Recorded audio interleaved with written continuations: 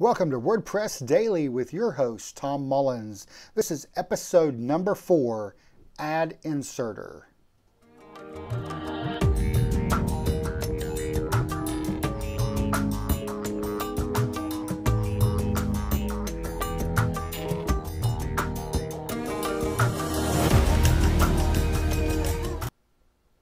Hey guys, welcome to the show today. It's exciting to be here.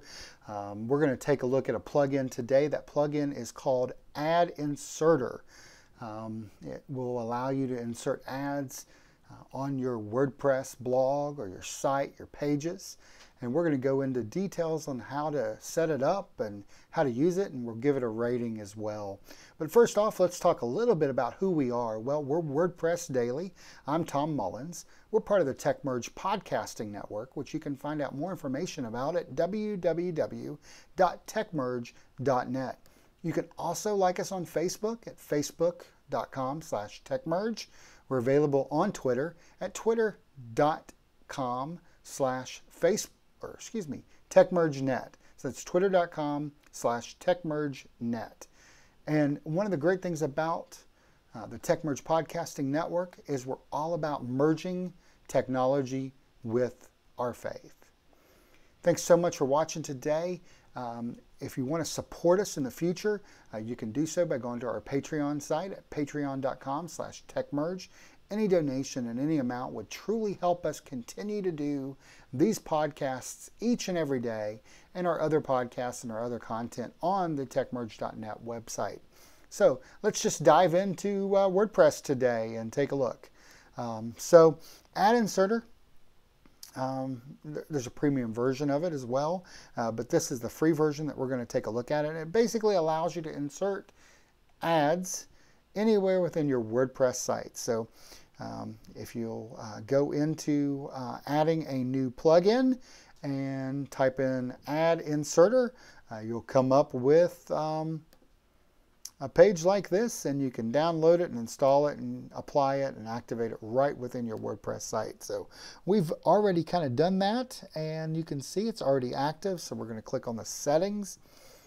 Um, there's not a whole lot of settings here. Most of it is based on the code um, that you um, would want inserted on your page. So for this demo purpose, we're actually going to um, put a, um, a, button ad that will um, give you um, a Gravity Forms logo uh, on the site. That's the, that's the particular ad that we want.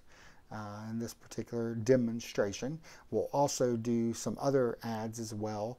Um, I'll put some text in just so we can see how it appears on the page and how it's laid out on the page and so forth and so on. So this particular program, uh, this is the free version. There is a premium addition to this plugin uh, and there is a fee for that. So because of that, we're going to give this, mm, I'm thinking a 3 out of 5. And there's a couple reasons why I rated a 3 uh, and not a full 5. And that rating uh, is for a couple reasons. One of which is it's uh, there's a premium version of the plugin. Uh, the second version is kind of the way you have to add uh, the ads. Um, it makes it a little more difficult. Um, typically, I've used uh, web adverts or other advertising management software in the past, and um, it's a lot easier to add ads, and you can actually add them into rotations uh, so that when an ad runs, it uh, will rotate between multiple ads each and every time. So there's lots of really cool things that we can do here, uh, but we're going to talk about Ad Inserter. This allows you to actually have up to 16 different ads. So um, here's, here's the code. This is the code that we got from Gravity Forms that we, we put in. Um, so we went ahead and inserted this. It's just simply cutting and pasting it right in. Uh, down below, we have the option of telling it where we want to put it to. So if we check mark posts, we can say we want it to appear on posts. If we check mark static pages, it will appear on static pages. If we check mark home page, it will appear in the homepage. You can tell it to automatic insert and where. Do you want it to automatically insert before post, uh, before content, uh, before paragraph, after paragraph, after content, so forth and so on. You can tell it how you want it aligned, okay? Uh, we're just going to use default in this particular case. And uh, let me change that back to default. And I'm going to choose the posts and I can say individually disabled or individually enabled, which actually gives you an option within the post itself to enable or disable the ad insertion on that particular post.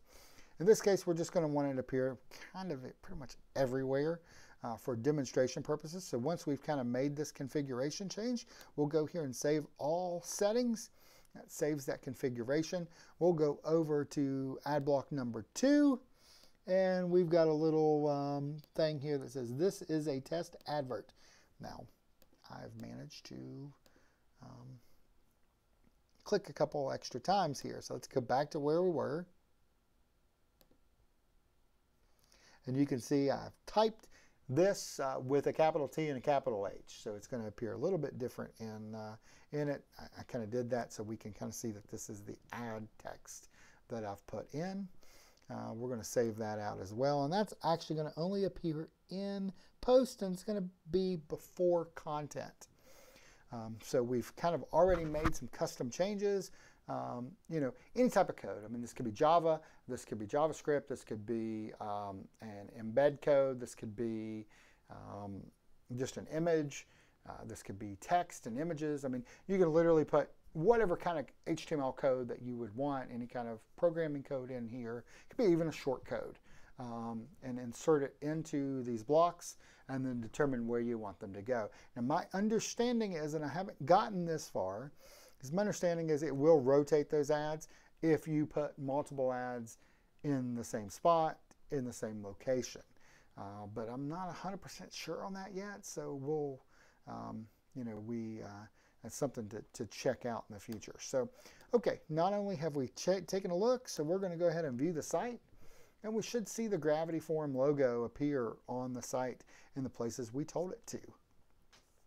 So, as we scroll down here on the front page, let's see.